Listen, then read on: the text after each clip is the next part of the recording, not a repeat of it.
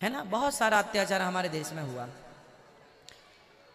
एक बात बताइए जब द्रौपदी की साड़ी खिंच रही थी उस समय आधी से ज़्यादा साड़ी तो तर चुकी थी। सामने कौन बैठा था? पांडव गुरु द्रोणाचार्य पितामह सब बैठे थे। फिर भी भगवान आए? जी। नहीं आए। कब आए भगवान? जब द्रौपदी ने भगवान को पुकारा। क्या बन के बहन बन के उस प्रेम से, उस श्रद्धा से। तो भगवान को प्रहलाद जी ने पुकारा तो खंबे से आए।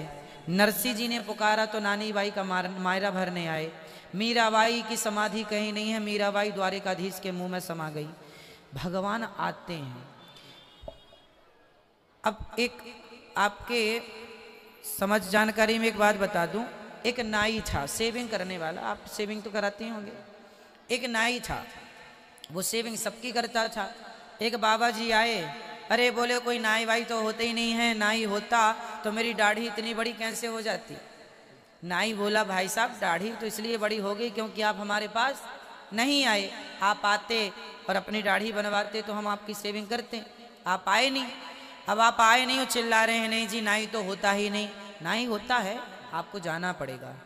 उसी प्रकार भगवान होते हैं, उस भाव, उस श्रद्धा से जिनने पुकारा है, उन्हें प्राप्त हुए हैं भगवान। और अत्याचार, देखो, भगवान ने तो नहीं कहा था कि तुम आपस में लड़ो। क्यों लड़े? आपस में लड़ने का क्या है? आपस में क्यों लड़े? हमारे यहाँ के राजा महाराजा आपस में लड़ गए।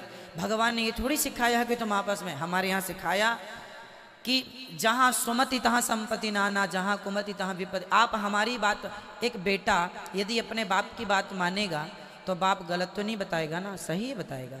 तो हमारे शास्त्रों ने समझाया, गीता में समझाया, भगवान ने रामचरितमानस में चौपाई है, संगठित रहो।